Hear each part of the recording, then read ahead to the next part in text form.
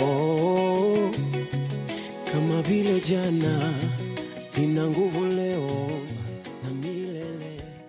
Hallelujah and praise the Lord.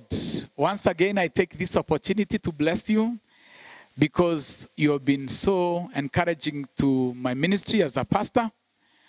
I want to take this opportunity once again to welcome you to this program, and you will be blessed because you're listening. I'm your pastor, Gerald Mugo from Full Gospel Churches of Kenya, here in Meru town. I'm reading Psalms 137, verse 1 to 4. The Bible says, By the river of Babylon we sat and wept when we remembered Zion. There on the poplars we hung our herbs. For there, for there our captors asked us for songs. Our tormentors demanded songs of joy. They said, Sing us one of the songs of Zion. How can we sing the songs of the Lord while in a fallen land? The title of my sermon today is Don't Hang Your Harp. An harp is an instrument that is used to sing praise to the Lord. So don't hang your harp. Don't hang your guitar. Don't hang your drum. Don't hang your tambourine. The children of Israel, when they were captured by their enemies, their enemies demanded from them that they sing a song. But they said they cannot sing a song in a foreign land. They sat by the levers of Babylon and they sat there wailing and crying. And their tormentors were, were making fun of them and demanding that they sing a song of the Lord in the fallen land. And these people uh, uh, were very discouraged and they hung their, they hung their harp on the tree. A person in exile weeps over the bitterness of captivity. Our sorrow can make it difficult to imagine singing joyful songs again. But my encouragement to you today is you can sing a joyful song again. There is revival. Don't hang your up. And our case study is from the book of Acts, chapter 16 and verse 16. Acts 16 16. Once, when we were going to the place of prayer, we were met by a slave girl who had a spirit by which she predicted the future. She earned a great deal of money for our owners by fortune telling. This girl followed Paul and the rest of us, shouting, These men are servants of the Most High God who are telling you the way to be saved. She kept this up for many days. Finally, Paul became so troubled that he turned around and said to the Spirit, In the name of Jesus, I command you to come out of her. At that moment, the Spirit left her. When the owner of the slave girl realized that their hope of making money was gone, they seized Paul and Silas and dragged them into the marketplace to face the authorities. They brought them before the magistrates and said, These men are Jews and they are throwing our city into uproar. By advocating customs unlawful for us Romans to accept or practice. The crowd joined in the attack against Paul and Silas, and the magistrate ordered them to be striped and beaten. After they had been severely flogged, they were thrown into prison, and the jailer was commanded to guard them carefully. Upon receiving such orders, he put them in the inner cell and fastened their feet in the stocks. About midnight, I want you to know that and underline that. About midnight, Paul and Silas were praying and singing hymns to God, and the other prisoners were listening to them. Suddenly, there was such a violent earthquake, then the foundation of the prison was shaken. At once, all the prison doors flew open, and everybody's chains came loose. The jailer woke up, and when he saw the prison doors open, he drew a sword and was about to kill himself because he thought the prisoners had escaped. But Paul shouted, Don't arm yourself, we are all here. The jailer called for right and rushed in and fell trembling before Paul and Silas. He then brought them out and asked, Sir, what must I do to be saved? I'll encourage you to read the rest of your story, the, the rest of the story at your time. But I want us to focus on this story. Paul and Silas were going to the place of prayer. My brother and sister, in your busy schedule, you must have a place of prayer. A place of prayer is a place of communion with God. Is a place of communication with God. Is a place of special appointment with your maker. Prayer is reporting on duty. Prayer is the greatest force in the universe that moves the hand, that moves the world. Prayer is the greatest force in the universe that moves the hand, that moves the world. And failure to pray is failure in all your life.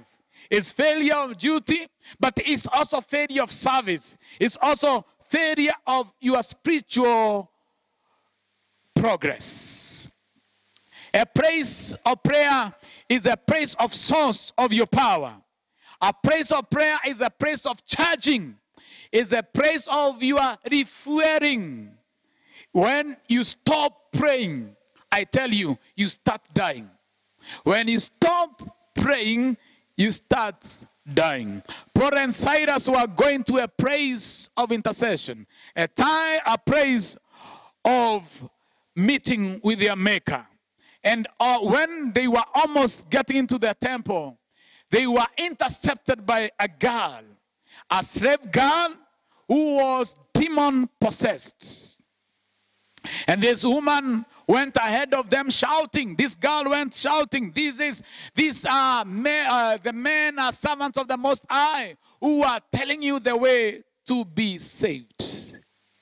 There was nothing wrong with this with our message, but our brother Paul, in the spirit sense, that the the spirit that was operating in this girl was not a clean spirit. She was a diviner. She was a fortune teller. She was operating under demonic anointing. And Paul realized that this woman was possessed. And what did they do? This girl who was, dub, was a double slave, she was a slave of the demons, but also uh, physically she was a slave. She was under some people that were using her to make money. Why? Because she was able to tell people about their future by the power of divination, and she was being paid. And that money never helped this girl, it went to our captures. So the servants of God delivered her from this, uh, from this confusion and this slavery. This girl was set free from this demonic attack. And when she was delivered from that powerful demon, the owners of this girl felt so bad. Why? Because their source of income has been closed. Their business has been closed. And there, were, there, there was no hope of making money. the spiritual atmosphere of that town changed, and the demonic world was rattled, and the demonic world responded. How did they respond? They responded by seizing Paul and Silas and dragging them away into their marketplace. And then they brought them before their magistrates and they falsely accused Paul and Silas for introducing unlawful customs. I want you to understand that Paul and Silas were not introducing anything. They just delivered this girl from demonic attack.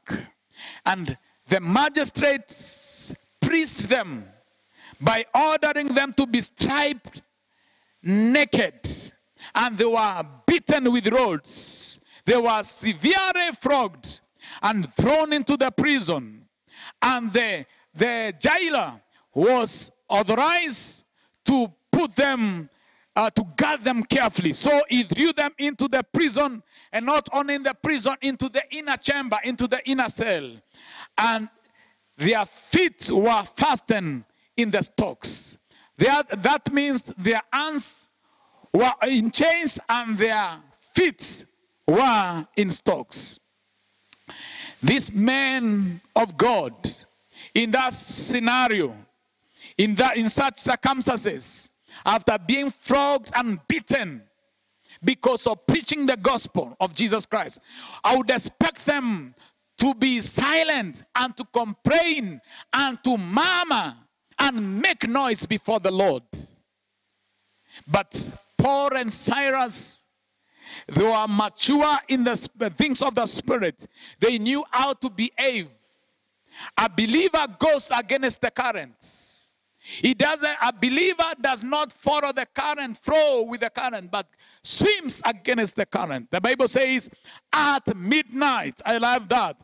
At midnight, Paul and Silas decided to pray and to sing hymns to the Lord and the other prisoners were listening to them. They were wondering, what are these people doing? We expect them to be nursing their wounds and their pain. But they said, Praise the Lord, they have bound our hands, they have bound our feet, but they have not bound our mouths. We are going to lift up our voices and praise the Lord and glorifying his name. Praise is to speak well of our God. Praise is to express admiration. It is to compliment. It is to commend our God. It is to congratulate our God for what He is. It's to applaud Him. It's to eulogize Him. It's to exhort Him. They say they are not going to stay in the prison of complaining and murmuring and asking stupid questions. Where was God when they were being flogged? Where was God when they were being uh, thrown in the prison? They never concentrated on the negativity. They decided to praise the Lord. Praise is primarily the expression of admiration, adoration, and approval to God for who He is and what He is. Not because of what He has done, but because of who He is and what He is. We need to know that we need to praise the Lord despite our circumstances and our environment and what is happening around us.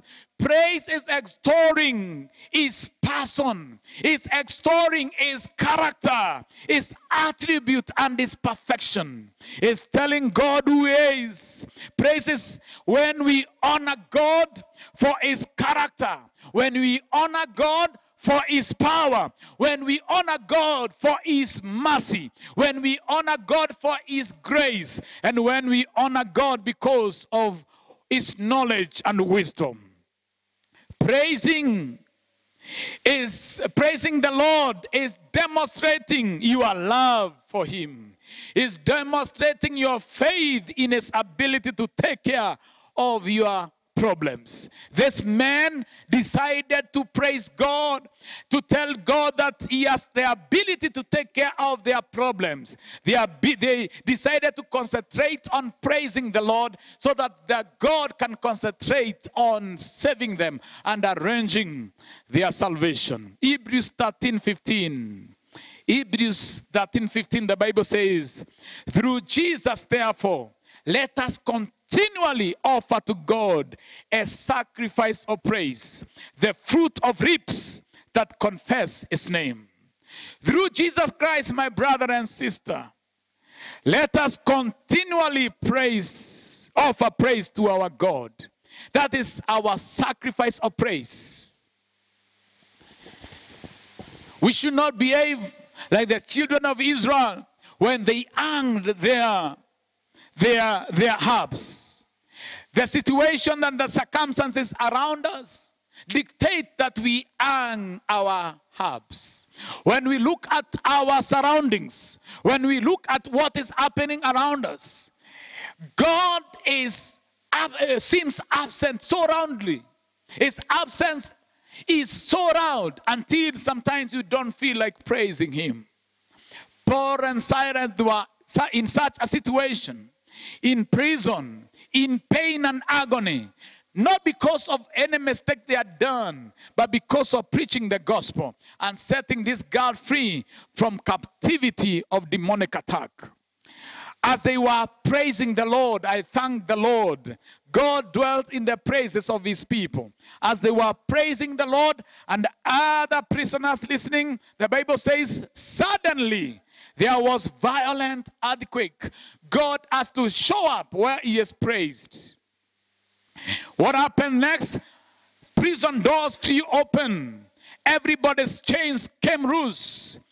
And the jailer woke up wanting to kill himself because he thought everybody has freed from the prison.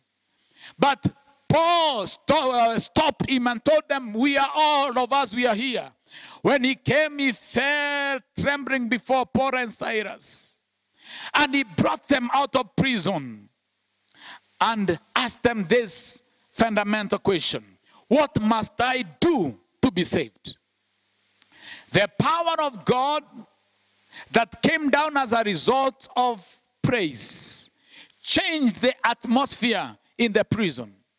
The atmosphere in the prison changed because of two men who decided to praise God when the circumstances dictated otherwise.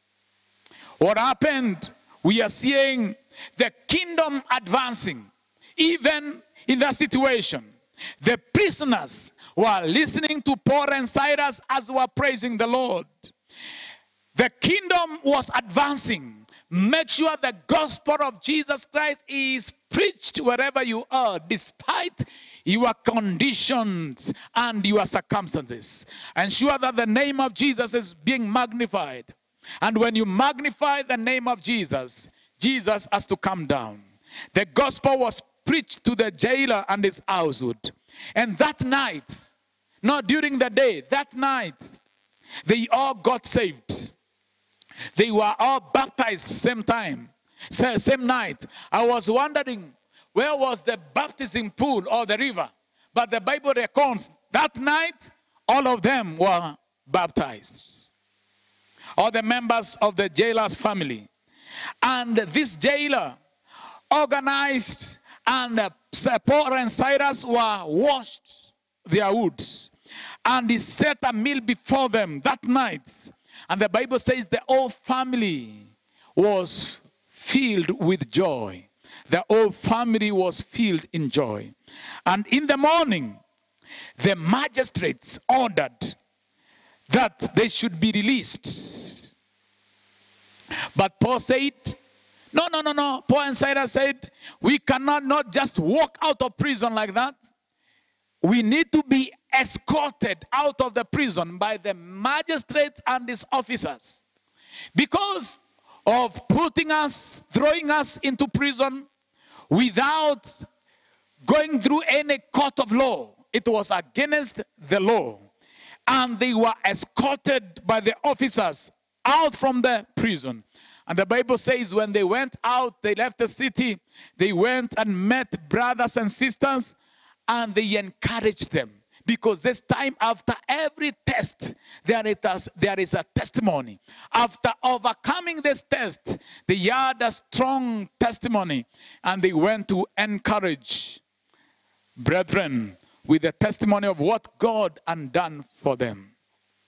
My brothers and my sisters, I am not ignorant of your circumstances and what is happening around us in the whole world.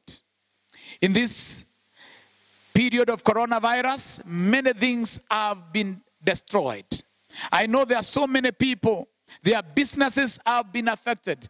Many have lost their jobs. We have lost our family members in this sickness and disease. The economy has slowed down. I am not ignorant of that. We are we have found ourselves in a prison. We don't know what to do. We are in our darkest moments. Some of us, we are in our midnights. Some of us, we are in the pits. Actually, Psalms 30, verse 5.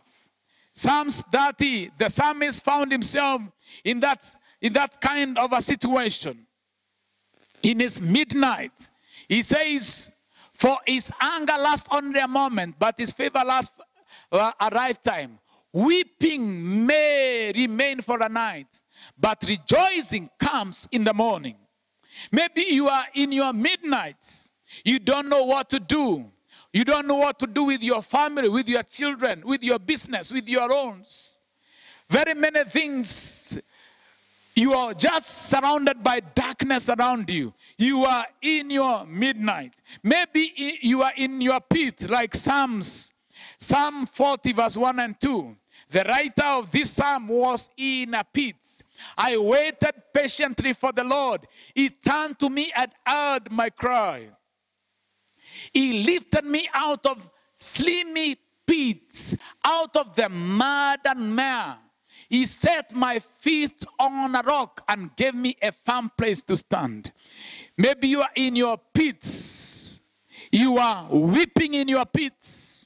You are in mud, in mud. The situation around you is very uh, slippery. It is very slimy. You don't know what to do. But this man, the writer of Psalm 40, decided to wait on God. My encouragement to you, even to myself, wait on God. Our God will come, He will deliver us from that pit, and He will set our feet on a rock and give us a firm place to stand. Maybe your business has gone down. You are in your darkest moments. Maybe you can confess, like the writer of Habakkuk chapter 3. Habakkuk, his business went down. He was a, a, a farmer. He had uh, so many animals. But for some, uh, for some reason, we don't know what happened. And he wrote in Habakkuk chapter 3, verse 17.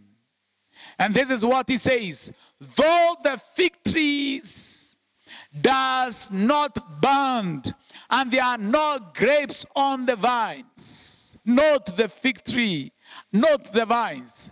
Though the olive crop fail and the fields produce no food, Though there are no sheep in the pen and no cattle in the stalls, yet, yet I will rejoice in the Lord. I will be joyful in God, my Savior.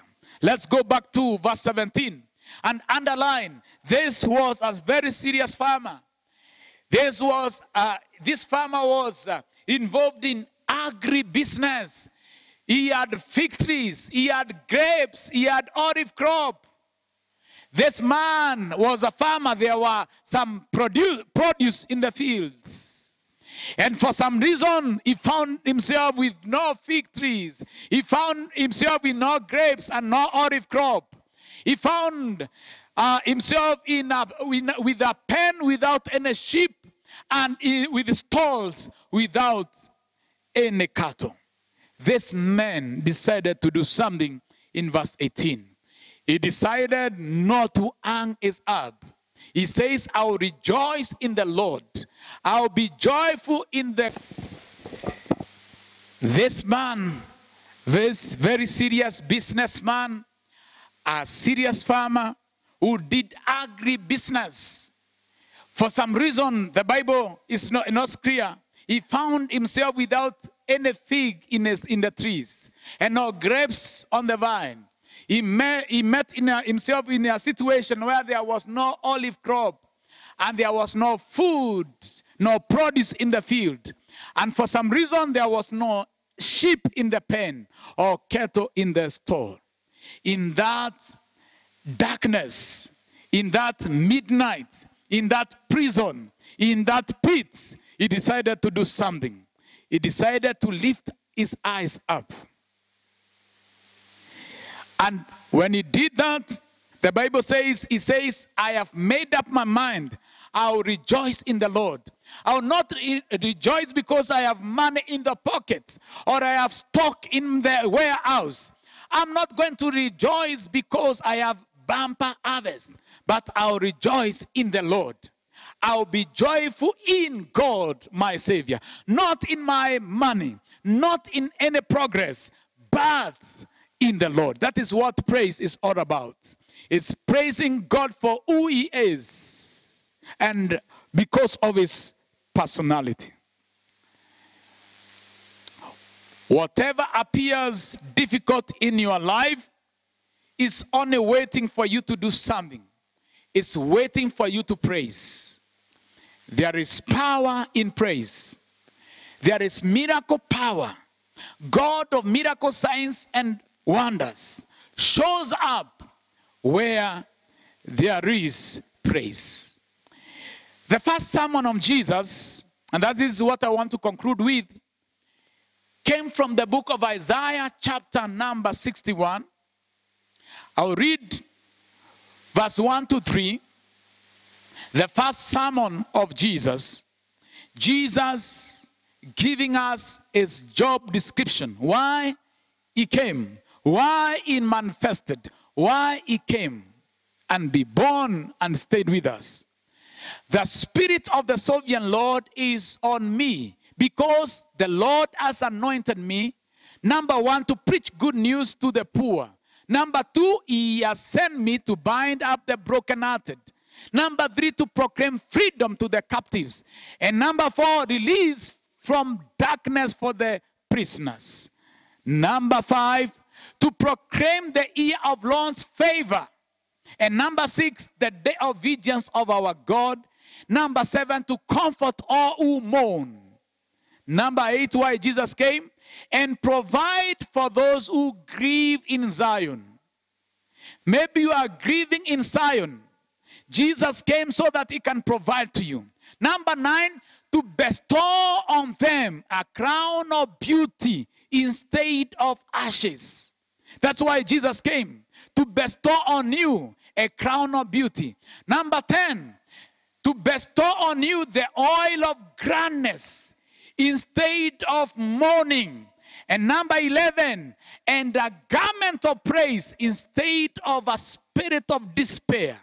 And finally, to change our name. Number 12, why Jesus came? So that he will, we, they will be called oaks of righteousness, a planting of the Lord for the display of his splendor. I want to challenge you, my brother and sister, to stand and take up your herb from where you have hanged it and uh, confess, pray, and make declaration using Isaiah 61. Declare yourself out of that prison, out of that darkest moment, out of your midnight. Declare yourself out of your pit. And you know what? God is going to show up because Jesus is the same yesterday. He is the same today and forever. What he did in the Bible days, he can do it even today. In the name of Jesus, I want to call you out of your darkness. I want to pray for your grace, to pray for grace to take you through your darkness. May the Lord put a new song in your mouth that you may you are going to hang down your are harp from where it is. Put it on your shoulder. Take your drum and your tambourine. Start praising the Lord. Start praising the Lord. And something is going to happen in the name of Jesus. May, may the Lord give you the grace to praise Him. May the Lord lift your spirit out of your situation. May you your, may your eyes look up to God, not around your situation. Don't look in your stalls and in your pen. Lift up your eyes and look unto heaven where your help comes from.